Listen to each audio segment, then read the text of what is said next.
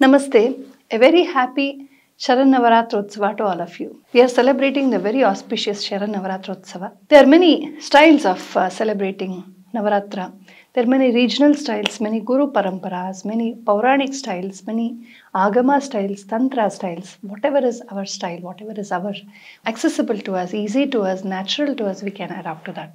One of the very popular uh, aspects of Navaratra is to worship her in the Navadurga forms. Prathamam Shailaputri cha Dvitiyam Brahmacharini, Tritiyam Chandraghanteti, ऊष्माण्डेति चतुर्थकं पञ्चमं स्कन्दमातेति षष्ठं कात्यायनीति च सप्तमं कालरात्रिश्च महागौरीति चाष्टमं नवमं सिद्धिदात्री च नवदुर्गाः प्रकीर्तिताः in the second day of the Sharan Navaratrotsava where we worship her as Brahmacharini, Dvitiyam Brahmacharini. We saw yesterday how uh, the terrible Tarakasura was invincible and he was very, very extremely violent and creating havoc across the universe.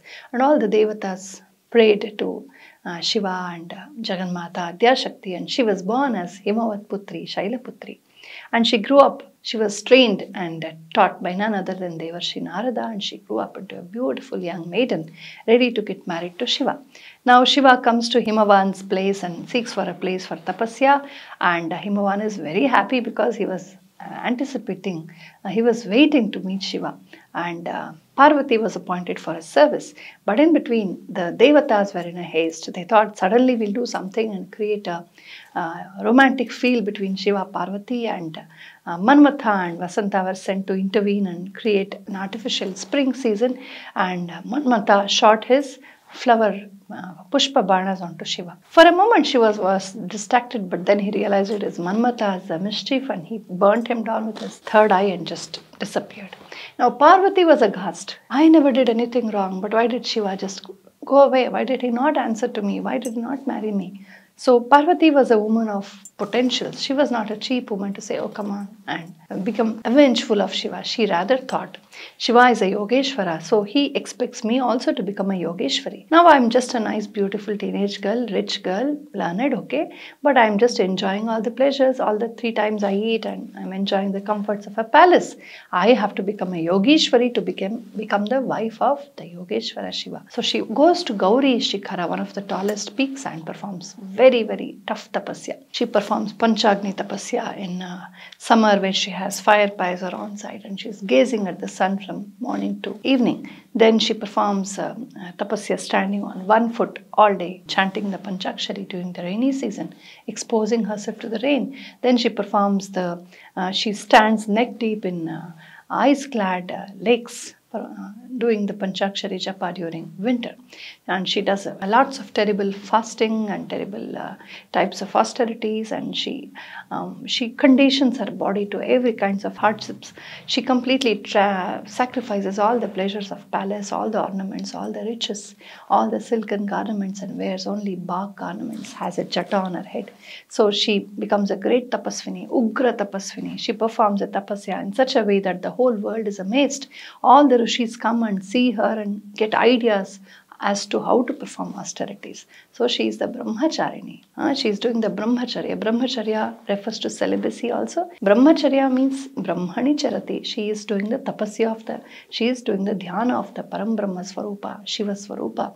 And it also means Brahma means Veda. She is doing Vedadhyana. She is leading the life of a celibate, doing Vedadhyana. And she is performing the yajna of Shiva. So she's uh, Brahma also means Yajna.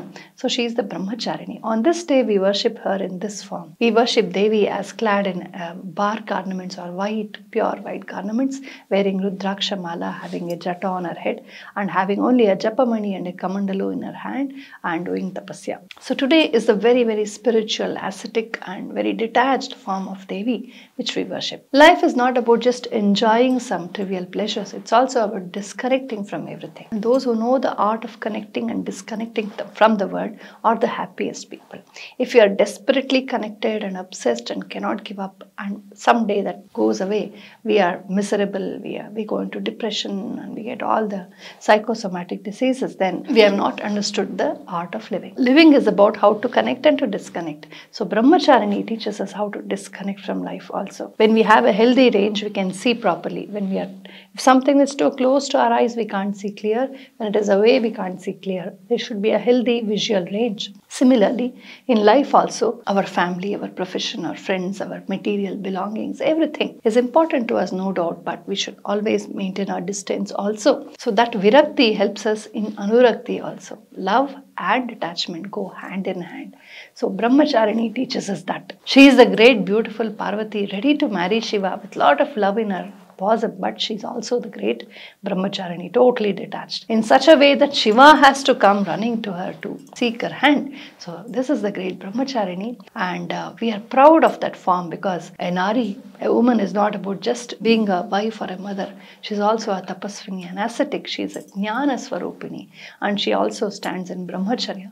Perhaps across the world, it is only in the Sanatana Dharma Buddha, Jaina, Sanatanadi Dharma, born in Bharata, where we see women are also ascetics, women are yoginis, women are masters, women are gurus, women are great tapasvinis. So she is the icon for all the tapasvis and all the tapasvinis. So let Brahmacharini Devi bless us with spiritual knowledge, with virakti, with jnana, which makes us our life in the world and beyond the world successful. With these words, I wish you all again a very, very happy Sharan Navaratrotsava. Namaste.